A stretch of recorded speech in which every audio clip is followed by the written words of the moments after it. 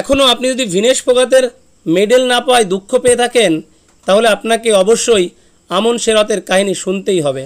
ভিনেশ ফোগাত মাত্র একশো গ্রাম ওজন বৃদ্ধির জন্য ডিসকোয়ালিফাই হয়ে ছিটকে গিয়েছেন ফাইনাল থেকে।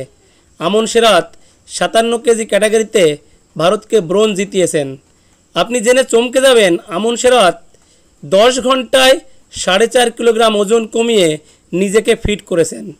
আমন শেরওয়াত কৌশল যদি ভিনেশ ফোগাত ফলো করত, তাহলে হয়তো ভারত আরও একটি সোনা জিততে পারত।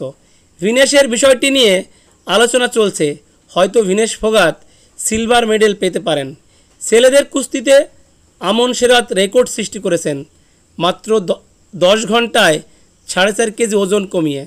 সেমিফাইনালে হারের পর আমন সেরাত ওজন করে দেখেন, তার ওজন প্রায় সাড়ে চার কেজি বেড়ে গিয়েছে।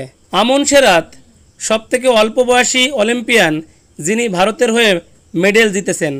আমনের ওজন যখন সাড়ে চার কেজি বেড়ে যায়, তখন আমনের কোচ বলেন, ভিনেশের সাথে যেটা হয়েছে, সেটা কখনোই আমনের সাথে হতে দেওয়া যাবে না। আমন সিরত প্রথমে কুস্তি করেন, তারপর ট্রেডমিলে পুরো রাত দৌড়েছেন। সকালবেলায় যখন আমনের ওজন করা হয়, তখন সাতান্ন কেজি থেকে একশো গ্রাম কম হয় আমনের ওজন। আমন সিরত মাত্র এগারো বছর বয়সে পিতামাতাকে হারিয়ে অনাথ হয়ে যান। আমনকে ব্যস্ত রাখার জন্য আমনের পরিবার তাকে কুস্তিতে পাঠিয়ে দেয়। তেরো বছর বয়সে প্রথম কুস্তিতে হাতে খড়ি হয় আমনের।